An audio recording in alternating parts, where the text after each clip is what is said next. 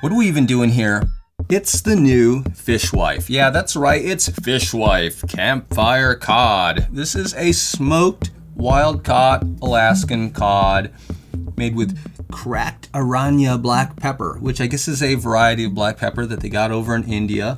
Um, I did some research and it all kind of comes back to this uh, diaspora outfit. And they got yeah, lemon juice, lemon pepper seasoning, cane sugar, garlic powder, salt, onion powder. Yeah, all the usual suspects.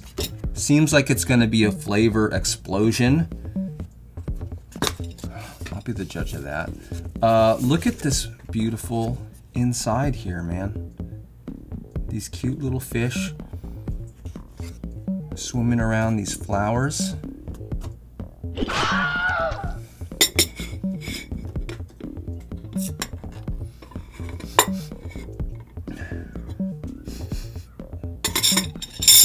Yeah, yeah. Oh.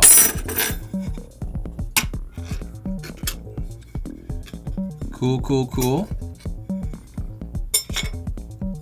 This looks just as you'd expect it. it. Looks like we've got pieces of cod floating around, olive oil, black pepper.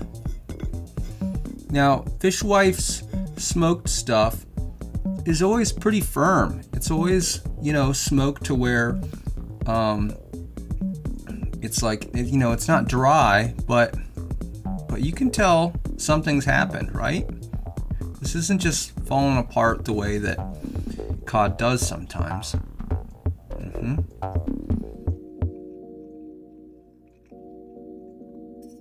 Oh man, that's good.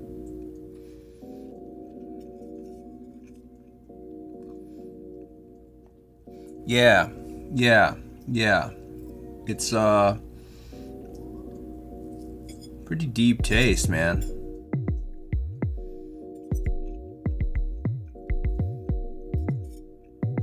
Pretty yummy.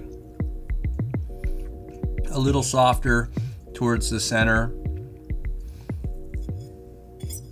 It still tastes like cod. Totally.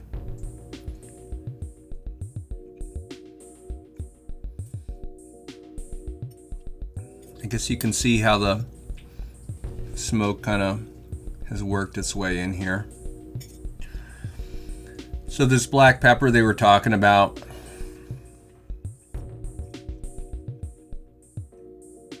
I don't know, it's just, it's just black pepper to me. There's so much happening in here. Mmm. Why do I like Fishwife? Fishwife, they have, first of all, good products, cute boxes. They're always doing something with the flavor format or how the fish is that that you know isn't being overdone. That was the best piece so far. I mean, I'm kind of looking for those soft, soft pieces. And then, you know, Fishwife, they always tell you when they got a new thing, you know? That's the advantage of doing the, uh, the direct-to-consumer model. Is they got your email address. And I have to admit, they, they send a lot of, like, recipes and stuff and, and little things that aren't necessarily news about their products. Um, that I don't really pay too much attention to, but I don't opt out because I want to know when the new thing comes. Mm-hmm.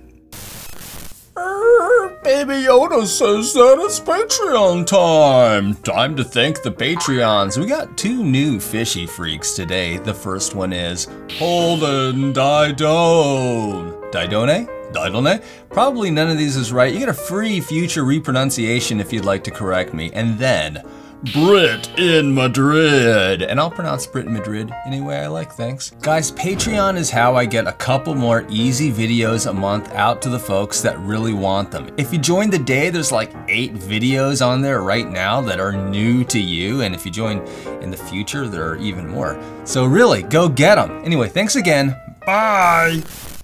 Really good.